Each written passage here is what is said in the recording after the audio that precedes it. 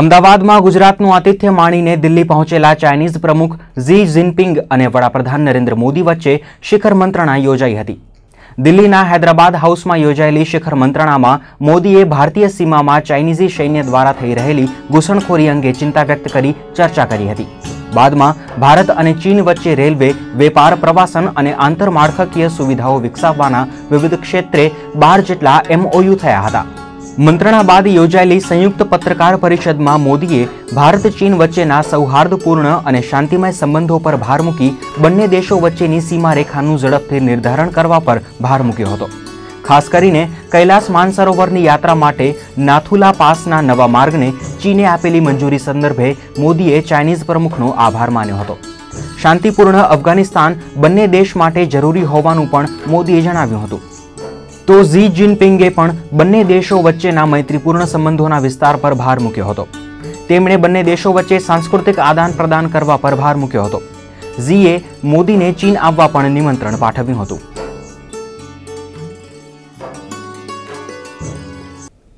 શિખર મંત્રણા પૂર્વે ઝી જિનપિંગે રાષ્ટ્રપતિ ભવને જઈ પ્રેસિડેન્ટ પ્રણવ મુખર્જી સાથે મુલાકાત યોજી હતી. ચાઇનીઝ પ્રમુખે રાજઘાટ જઈ મહાત્મા ગાંધીની સમાધિને પુષ્પાંજલિ અર્પણ કરી હતી. તો હોટેલ તાજમાં વિદેશ મંત્રી સુષ્મા સ્વરાજ સાથે પણ બેઠક યોજી હતી. ચીનના ફર્સ્ટ લેડી પેંગ લિયુઆને દિલ્હીની ટાગોર ઇન્ટરનેશનલ સ્કૂલની મુલાકાત લીધી હતી. અહીં તેમણે વિદ્યાર્થીઓ દ્વારા કરાયેલા યોગના કરતબો નિહાળ્યા હતા. ખુશખુશાલ પેંગ લિયુઆને વિદ્યાર્થીઓ સાથે કેલિગ્રાફી અંગે પણ ચર્ચા કરી હતી.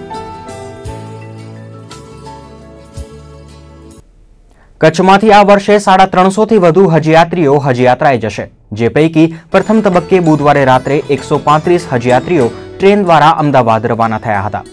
ભુજના બિસ્મિલ્લાહ ટ્રસ્ટે રેલવેના સહયોગથી આ હાજીઓને ભાવસભર વિદાય આપી હતી. ભુજ રેલવે સ્ટેશનના પ્લેટફોર્મ પર યોજાયેલા એક સમારોહમાં સૌ હાજીઓનો પુષ્પહાર પહેરાવી સત્કાર કરવામાં આવ્યો હતો. હાજીઓને વિદાય આપવા આવેલા સ્વજનોને રેલવે મંત્રાલયે કોઈપણ ટિકિટ લેવડાવ્યા વિના પ્લેટફોર્મ પર પ્રવેશ આપ્યો હતો. બિસ્મિલ્લાહ ટ્રસ્ટ દ્વારા છેલ્લા આઠ વર્ષથી કચ્છના હાજીઓને આ રીતે ભાવસભર વિદાય અપાય છે.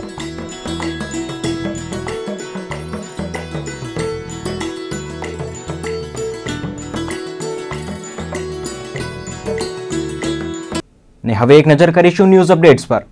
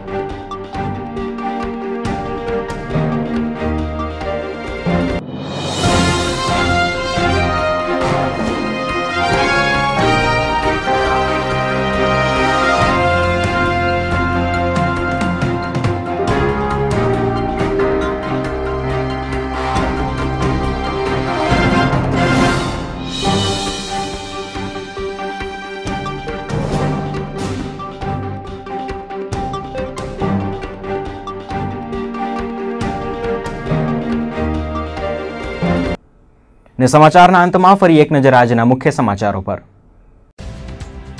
મેગા મલ્ટી હેન્ડીક્રાફ્ટ ક્લસ્ટર શરૂ કરવા કેન્દ્ર રાજ્યના તજજ્ઞોની ટીમ કચ્છની બે દિવસની મુલાકાતે. તમામ કારીગરોને ખાસ ઓળખપત્ર આપી બેંક ખાતા ખોલાવવા આપી સૂચના. શ્રાવણીયા લોકમેળા બાદ હવે આવી સરકારી ગરીબ કલ્યાણ મેળાની સિઝન શુક્રવારે રાપરમાં પંદરસો લાભાર્થીને બ્યાસી લાખની સહાયનું કરાશે વિતરણ. શનિ રવિ નલિયા ભુજમાં યોજાશે મેળા. કેડીસીસી બેંકની માંડવી શાખાના કૌભાંડી મેનેજર અને કેશિયરની મિલકતો લેવાશે ટાંચમાં. કેડીસીસીની સામાન્ય વાર્ષિક સભામાં અપાયું આશ્વાસન. આઠ મહત્વના ઠરાવ કરાયા. ભુજ, કંડલા એરપોર્ટ અને કેપીટી રાજ્યમાં સૌથી વધુ ત્રણ ગરમ શહેરો. ચોમાસાની વિદાય ટાણે કચ્છમાં ગરમીનો પારો ધીમી ગતિએ ચડે છે ઉપર. પારો આડત્રીસ ડિગ્રી સુધી પહોંચવાની શક્યતા. અદાણી મેડિકલ કોલેજમાં પોસ્ટ ગ્રેજ્યુએશન અભ્યાસક્રમને મંજૂરી આપવા સંદર્ભે એમસીઆઈએ કર્યું સરપ્રાઇઝ ઇન્સ્પેક્શન.